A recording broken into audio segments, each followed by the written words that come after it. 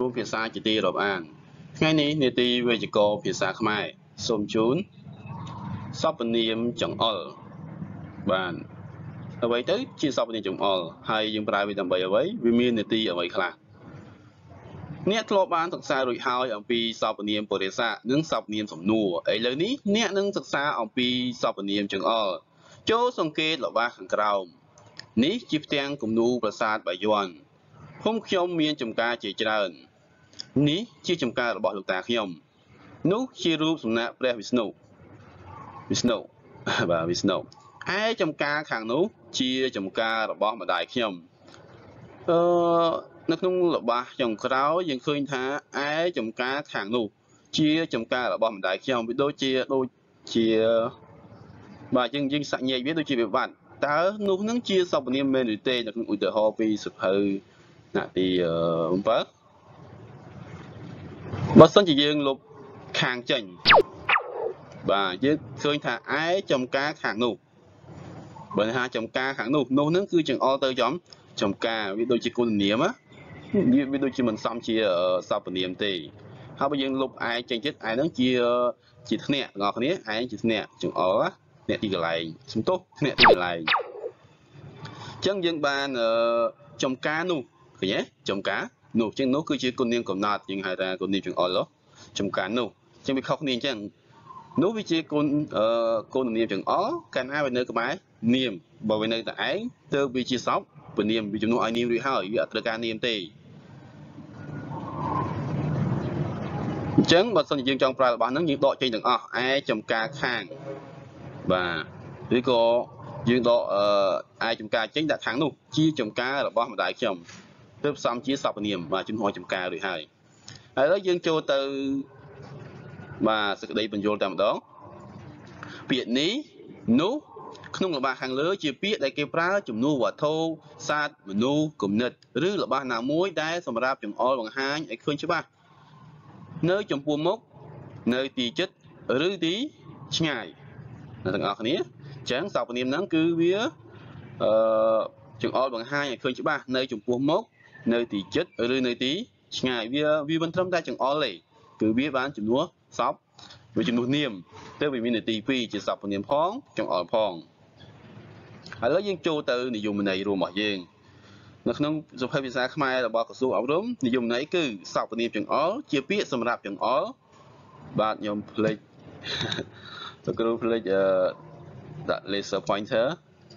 ចង្អុល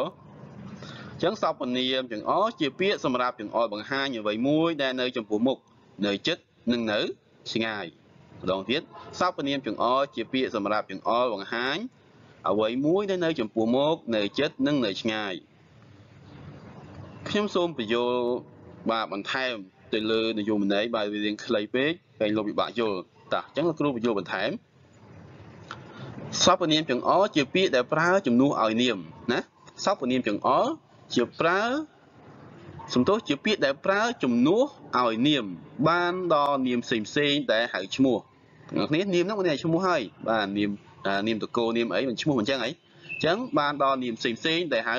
ហើយឈ្មោះបាទឈ្មោះសុកឈ្មោះឈ្មោះសៅឈ្មោះយើងហៅថាកៅអីតុកអាហ្នឹងគឺយើងហៅឈ្មោះវាហើយហើយមាននេតិដ៏សំខាន់គឺសម្រាប់ចង្អុលបង្ហាញអ្វីនៅណាបាទចង្អុលអ្វីចង្អុលណាឬក៏ចង្អុលស្អីអញ្ចឹងណា នៅចំពោះមុខនៅចិត្តឬនៅឆ្ងាយអញ្ចឹងខ្ញុំសូមបញ្ជាក់ថាវាអាចពាក្យហ្នឹងចង្អុលចិត្តឬចង្អុលឆ្ងាយមិនមែនចង្អុលចិត្តផងនិងឆ្ងាយផងទេណាពាក្យមួយវាមានន័យមិនមិនថាចិត្តផងឆ្ងាយផងទេគឺបានតែចិត្តគឺចិត្តហើយបើឆ្ងាយគឺមានពាក្យនោះអញ្ចឹងចិត្តឬឆ្ងាយបាទបើពាក្យចិត្តគឺពាក្យនេះបើចង្អុលឆ្ងាយគឺពាក្យនោះឥឡូវយើងបន្តទៅទៀតបាទតោះ យើងនឹងស្គាល់អំពីសពនាមចង្អុលមាន2យ៉ាងគឺ សម្រាប់ទីចិត្តមានពាក្យអីខ្លះនេះអានេះអ្នកនេះនិងទាំងនេះបាទទាំងនេះគឺជាពហុវចនៈតែយើងមិនមិនសិក្សានៅទីនេះទេលោកគ្រូគាត់តែដាក់ក្នុងវងកញ្ចក់ដើម្បីឲ្យដឹងថា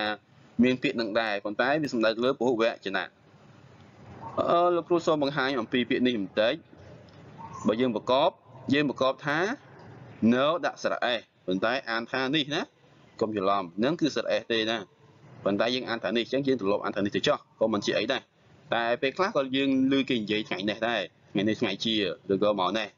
យើងធ្លាប់ឮគឺគេអានគឺគេនិយាយត្រូវតាមសូរបន្តទៅសម្រាប់ទីឆ្ងាយសពនាមចង្អុលទីឆ្ងាយមាននោះអានោះអ្នកនោះទាំងទាំងនោះចឹងបញ្ជាក់ម្ដងទៀតទាំងនោះគឺពហុវចនៈទេទោះឲ្យច្រើនមកយើងបើយើងប្រើទាំងនោះតោះយើងចូលទៅសញ្ញាកិច្ចការទី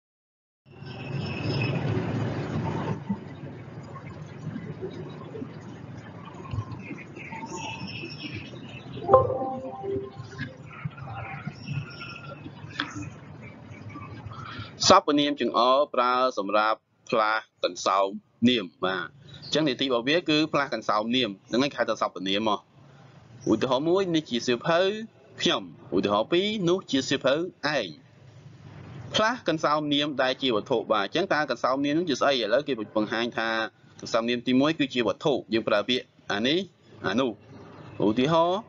មានបន្ទាត់ពីរនៅលើតុអានេះជារបស់ខ្ញុំអានោះជារបស់ឯង បាទមួយទៀតគឺផ្លាស់កន្សោមនាមដែលជាមនុស្សយើងប្រើអ្នកនេះអ្នកនោះឧទាហរណ៍សិស្សទាំងពីរអ្នកនេះអ្នកនេះពូកែជាងអ្នកអ្នកនោះអញ្ចឹងអ្នកនេះក៏ជាសិស្សអ្នកនោះក៏ជាជាសិស្សយើងចង់អត់ថាអ្នកនេះពូកែជាងអ្នកអ្នកនោះលោកគ្រូសូមបញ្យល់បន្ថែមណានៅក្នុងបច្ចៈបន្ថែមនេះជាដើមស្វាយចឹងនេះគឺសំដៅដើមដើមស្វាយ វាឈរតែឯងអត់មានពាក្យរណបអញ្ចឹងយើងអត់ថាដើមស្វាយនេះទេយើងកាលណាយើងប្រើតែនេះនោះវានឹងជាសព្វនាមបើយើងប្រើដើមស្វាយនេះនោះវាជាគុណគុណនាមទេអញ្ចឹងវាខុសគ្នាកន្លែងហ្នឹងទេដើមស្វាយនេះមានអាយុ10ឆ្នាំណាដើមស្វាយនេះមានអាយុ10 10ឆ្នាំចង្អុលប្រាប់ឲ្យដឹងនេះនេះហ្នឹងចង្អុលប្រាប់ឲ្យដឹងពីកន្លែងរបស់នាមតាំងនៅដោយគុណនាមផ្សេងដែរអញ្ចឹងដោយគុណនាមផ្សេងដែរគឺតែងឈររណបអែបខាងស្ដាំ នាមអញ្ចឹងចង់បញ្ជាក់ថានេះនេះជាសព្វនាមហើយនេះនេះគឺជាគុណនាមពីព្រោះដោយសារអីដោយសារវាឈរនៅខាងស្ដាំនាមវាដើរតួជាគុណនាមបញ្ជាក់លក្ខណៈឲ្យដើមស្វាយអញ្ចឹងអ្នកទាំងអស់គ្នាស្គាល់ណាបាទរវាងនេះជាសព្វនាមនិងនេះជាគុណនាមនេះជាសព្វនាមឈរតែឯងអត់មានពាក្យរណបនេះជាគុណនាមឈរនៅខាងស្ដាំនាមវាជាវារណបវាបញ្ជាក់ឲ្យដើមដើមស្វាយដែលជានាមបាទបន្តទៅទៀត ចឹងលោកគ្រូបញ្យោដោយឡែកមួយទៀតតកតទៅនឹងអ្នកនេះនិងអ្នកនោះអ្នកនេះគឺជាពាក្យអ្នកនេះគឺជាសិស្សឯអ្នកនោះក៏ជាសិស្សអញ្ចឹងលោកគ្រូបកស្រាយអញ្ចឹងព្រោះសិស្សទាំងពីរអ្នកនេះអ្នកនេះប្រកែកជាងអ្នកនោះដូច្នេះអ្នកនេះគឺក៏គឺជាសិស្សឯអ្នកនោះក៏ជាសិស្សទើបពាក្យពីរនេះចាត់ជាសព្វនាមដែលតំតំណាងតំណាងអីតំណាងជំនួសឲ្យឲ្យសិស្ស ណាអ្នកហ្នឹងគឺជំនួសឲ្យពាក្យសិស្សអញ្ចឹងអ្នកគឺជាសព្វនាមជំនួសឲ្យនាមសិស្សជំនួសឲ្យនាមដែលយើងចង្អុលសំដៅទៅទៅដល់ឃើញទេតំណាងហើយចង្អុលសំដៅទៀតដូច្នេះហើយទើបអ្នកនេះអ្នកនោះជាសព្វនាមចង់ចង្អុលជំនួសឲ្យផងចង្អុលផងតោះសាកធ្វើលំហាត់ទាំងអស់គ្នាចូលអ្នកតែងរបស់ដោយប្រើសព្វនាមចង្អុលនេះនឹងនោះឲ្យបាន6ណា6របស់ណា យើងអាចតែងងាយងាយក៏បានដែរបាទតាចំឡើយសាកគិតមើលយើងតែងនេះឲ្យបាន3នោះឲ្យបាន3អញ្ចឹងទៅវាស្រួលវាស្មើគ្នាណាសាទី1អញ្ចឹងលោកគ្រូបង្ហាញតែម្ដង1នេះជាដើមភូមិនេះជាដីភូមិដូនតាយើងណានេះជាដីភូមិដូនតាដូនតាយើងហើយយើងអាចតែងយើងអាចតែងស្តៀងនឹងបាន3ទៅបើយើងចង់ងាយជាងហ្នឹងនេះជា ដីភូមិដូនតាយើងនោះជាដីភូមិដូនតាយើងនេះជាដីភូមិដូនតាគាត់នេះជាដីភូមិដូនតាខ្ញុំឃើញទេយើងតែងមកងាយងាយអញ្ចឹងសំខាន់យើងចាំព្រោះឲ្យយើងចេះចាំទី2នេះក៏មិនល្អនោះក៏មិនមិនដឹងយកមួយណាណាមិនដឹងយកមួយណាតោះចូលទៅតែងទី3នេះមកពីខ្ញុំបាទខ្លីៗអញ្ចឹងណាយើងសំខាន់យើងហាត់តែងឲ្យចេះចាំឲ្យយល់កាន់ច្បាស់អញ្ចឹងការហាត់មកមកយើងចេះចាំកាន់តែច្បាស់នេះមកពីខ្ញុំ ឧទាហរណ៍ទី4យើងប្រើពាក្យនោះនោះជាចម្លើយហើយបាទខ្លីៗស្រួលស្រួលនោះជាចម្លើយហើយនោះជាសំណួរឃើញទេនោះជាសំណួរអញ្ចឹងសំណួរហ្នឹងហើយណាតែដែលនោះជំនួសហើយជាងអល់ទៅនោះអល់ទៅនោះបាទនោះជាសំណួរនោះជាចម្លើយទី5នោះនាំឲ្យយើងចេះគិតបាទនោះនាំឲ្យយើងចេះគិតចាអញ្ចឹងអទៅអ្វីមួយ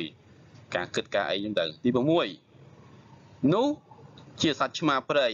បាទនោះជាសត្វឆ្មាមកព្រៃបាទអរគុណអញ្ចឹងយើងបាន បាទតាមដានបានសិក្សាបានគិតទាំងអស់គ្នារហូតដល់ចម្លើយបាទលំហាត់នឹងចម្លើយស្គមទាំងអស់គ្នាក៏ហាត់ធ្វើហាត់ទៅសេខ្លួនឯងបន្ថែមទៀតដើម្បីបាទឲ្យបានចំណេះដឹងនេះ